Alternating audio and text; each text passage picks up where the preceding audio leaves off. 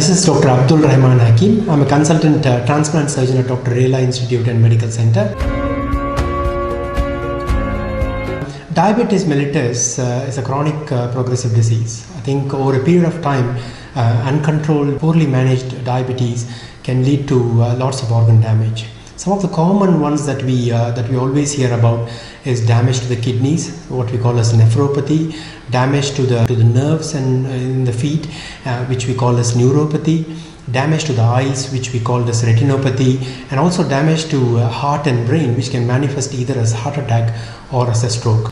I mean, this usually happens uh, over a period of progressively uh, poorly managed diabetes. Um, one of the reasons why this happens is because of uh, damage to the microvascular system, which are the small blood vessels in the body, and also macrovascular system, which is the larger blood vessels in the body. Uh, so it's very important to manage uh, your diabetes once it is diagnosed very efficiently. Uh, this involves both the nutritional aspect, keeping yourself healthy, and also the exercise aspect, and also keeping the blood sugars under uh, control.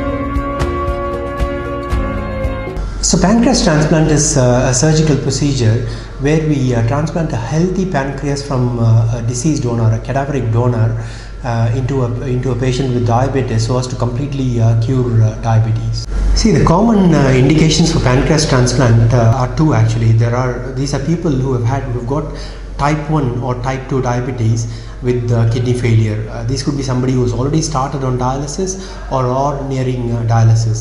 The other common uh, indication is to uh, transplant for those who get uh, what we call as hypoglycemic unawareness, where they are completely unaware of their uh, low uh, blood sugar and can end up with uh, problems because of it, which could either be a, like a fit-like episode or they can have an accidental fall. So we transplant pancreas alone for them. There are three common ways of pancreas transplant. One is uh, implanting a pancreas along with the kidney transplant, which is called as a simultaneous pancreas and kidney transplant. Uh, the second thing is basically somebody who's already had a kidney transplant and we uh, implant pancreas in them. And the third one is where uh, we transplant pancreas alone. Let me just give you a sort of understanding of uh, these three uh, types of pancreas uh, transplant. Um, now, I think, I mean, for the, for the simultaneous pancreas and kidney transplant, which is where we uh, transplant both the pancreas and the kidney, um, this happens in about uh, two thirds of the patients. We do both the transplants.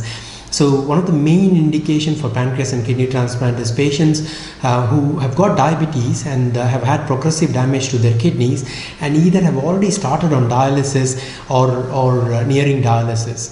Um, so for these patients, what we do is that we, uh, we make a cut in the center of the tummy um, and, and we implant the pancreas first, uh, which is uh, behind the right bowel, and then the kidney gets transplanted through the same incision into the left side of the tummy. So this basically gives them relief both from the diabetes and also from the kidney failure. And this is basically the commonest uh, reason for uh, pancreas transplant. The second thing is uh, where we do a pancreas after a kidney transplant.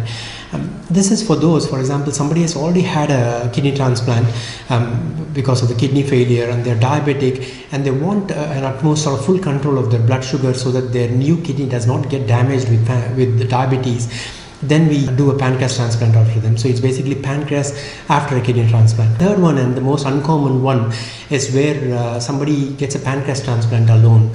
For example, somebody has got very erratic uh, blood sugar control um, and, and, and get problems because of uh, either hypoglycemia, where the, the blood sugar is very low and, and they are not aware of it. And these people can either get a fit or they can get a very sort of uh, accidental injury because of sudden fall from low blood, blood sugar, or they get very high blood sugar. For these patients, we can do a pancreas transplant alone. But however, this is not a very common uh, reason for uh, pancreas transplant. So before uh, you have a, a, pancreas transplant, patient have to go through a rigorous uh, assessment. What we have to make sure is that there is not already a big damage to their heart or to their lung. So they go through a, what we call as a cardiovascular uh, system assessment. Um, so they will they will have multiple investigations. So basically, I mean, those who uh, get a pancreas or a kidney transplant or those who are who are extremely fit um, and have not already had a significant uh, damage or if they've already had a damage to the heart for example they've had a heart attack if it's already been corrected and they're fit following that then they can they can have a pancreas and a kidney transplant Usually patients stay about 10 days to 14 days uh, following the pancreas transplant in the hospital. The pancreas in fact uh, starts working instantly uh, as soon as uh, it is transplanted within the operating theatre and you have to constantly monitor them, make sure that there is uh, no damage to the pancreatic graft that we implant by, by checking their blood sugar regularly in the first few days following the transplant. But once it all settles down, then the patient won't need a regular check of their blood sugar.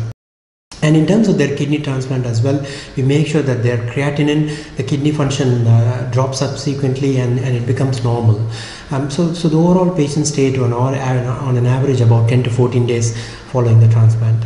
Um, complications wise, they can get things like bleeding after a pancreas transplant procedure or, or an infection of the pancreas that we transplant. Any of these can be managed either with, uh, with another operation or, or it could be uh, treated with uh, things like antibiotics. So the other complications that can happen uh, with pancreas transplant are things like uh, uh, what we call as inflammation of the pancreas that we uh, transplant, what we call as pancreatitis. If that happens, uh, you might either develop some collections around the pancreas or uh, it can lead to sort of high blood sugar for, a, for a short period of time. If that is, if that is there, then we can just treat it by giving some rest to the pancreas or by draining the fluid collections that can form around. Um, the other sort of uh, complications that can happen are things like uh, leakage from the small amount of bowel that we transplant along with pancreas. If that happens, uh, then obviously I think this can again be treated with a drainage or uh, might need another uh, operation.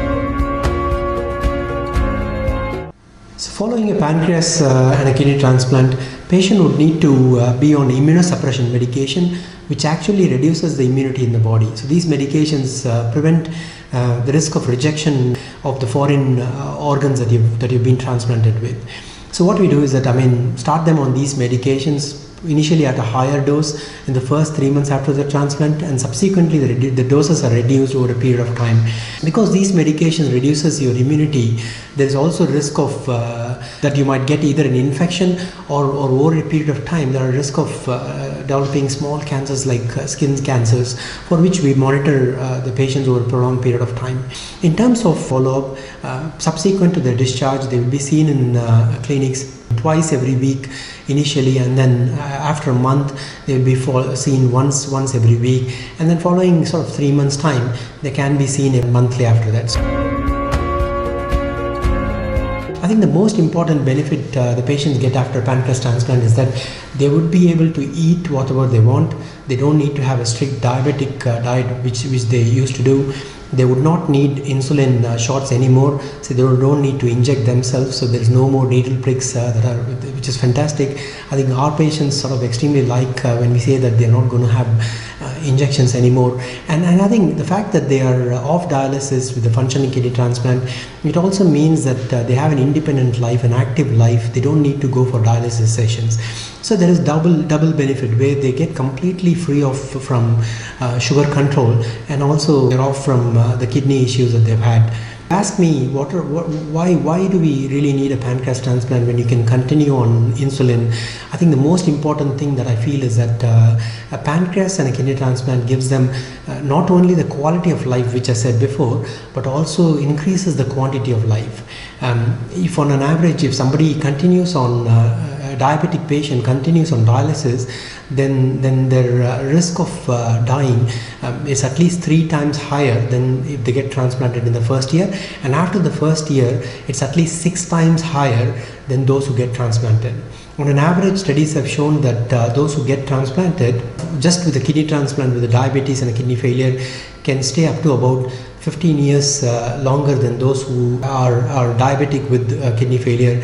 And those who get uh, both kidney and pancreas transplant live on an average at least about 22 years longer. So there's an extreme benefit with the pancreas and kidney transplant. On an average uh, how long does uh, these uh, organs last? I think we say i mean it can last anywhere up to about 14 years on an average. So some patients can last even up to 30 years and in some it might not la- last last longer. From what uh, data we've got in the west we say that uh, the pancreas transplant um, first year survival following a pancreas transplant is anywhere around 97 to 98 percentage. So if 100 people are transplanted with pancreas 98 of them will be alive after one year. And after five years about uh, 90 of them will be uh, alive in terms of uh, the graft functioning very well i think uh, first year after the transplant there's a risk that five of them might lose the graft and five years after the transplant there's a risk about 15 of them might lose the graft. So it's about 95 and 85 percentage. So i think the outcomes from pancreas transplant have actually become much better than what it was in 1960s when it was first transplanted. Um, although it is much more popular in the West, it's not taken much precedence in uh, in India, and still there are only a very few centers which do pancreas transplant uh, in India.